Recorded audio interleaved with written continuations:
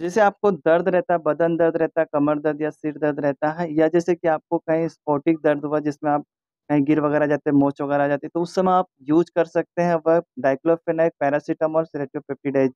तो ऐसे ब्रांड के बारे में बात करें जिसके अंदर ये मॉलिक्यूल है, तो हम बात करें अस्ट्रो रिलीफ एसपी टैबलेट के बारे में, जिसके अंदर ये मॉलिक्यूल है। तो इसके बारे में कंप्लीट इन्फॉर्मेशन दी जाएगी, कब आपको इसका इस्तेमाल करना है, किस तरह से करना है, क्या डोज़ हो सकता है। तो अगर आप पूरी जानकारी रखना चाहते हैं तो वीडियो के अंत तक बने रहें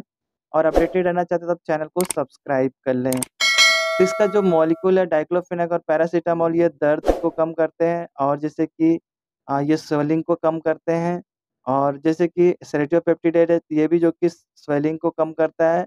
और ये पेन रिलीफ में कम वर्किंग करता है। तो जब आपको जैसे कि स्पोटिक दर्द हुआ, जैसे कि आपका पाँव वगैरह मोच हो जाता है जिसमें आपको दर्द होता है या जैसे कि आपका सिर दर्द हो रहा है या आपका बदन दर्द है, बदन दर्द के साथ में थोड़ा बहुत आपका हल्का बुखार है, तो उस समय भी इसका इस्तेमाल किया जाता है। काफ़ी अच्छा है, बहुत अच्छे से ये हेल्प करता है ताकि जो आपका जो दर्द है, जैसे सर दर्द, कमर दर्द, बदन दर्द या स्पोटिक दर्द है जिसमें आपका पाँव वगैरह मोच जाता है या जैसे कि आपको सूजन के साथ में दर्द है, जब कहीं गिर वगैरह जाते हैं, तो उस समय या कहीं चोट वगैरह लग जा रही है, सूजन के साथ में दर्द है, तो उस समय इसका इस्तेमाल किया जाता है। बहुत अच्छे से हेल्प करता है आपका जो कि दर्द को दूर करने के लिए। तो अगर आप इसका इस्तेमाल करना चाहते हैं, जैसे कि आपका पीरियड वाला दर्द है या जैसे कि आपको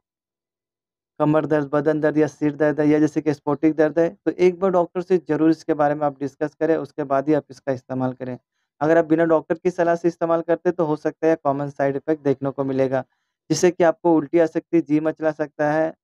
पेट में गैस्ट्रिक इरिटेशन हो सकता है, सीना जल सकता है, डायरिया हो सकती है, भूख कम लग सकती है, तो इसके कॉमन साइड इफ़ेक्ट हैं। इसका जो डोज़ रहता है ट्वाइस डेली रहता है, अगर आपको दर्द वगैरह हो रहा है, हरास वगैरह है तभी लें, अगर नहीं है तो मत लें इसे। तो इसका डोज़ उस पे ही डिसाइड करता है जैसे कि अगर आपको हो रहा है दर्द तभी लें और नहीं हो रहा है तो आप इसे बंद कर सकते हैं। इसका कोई 5 दिन 6 दिन का कोर्स नहीं रहता है। तो अगर वीडियो में दी गई इन्फॉर्मेशन आपको ज़रा-सा भी इन्फॉर्मेटिव लगी है तो एक लाइक कर दीजिएगा। अपडेटेड रहना चाहते हैं मेडिसिन से जुड़ी जानकारी से चैनल को सब्सक्राइब कर लीजिएगा। डाउट है तो कमेंट करके पूछ लीजिए।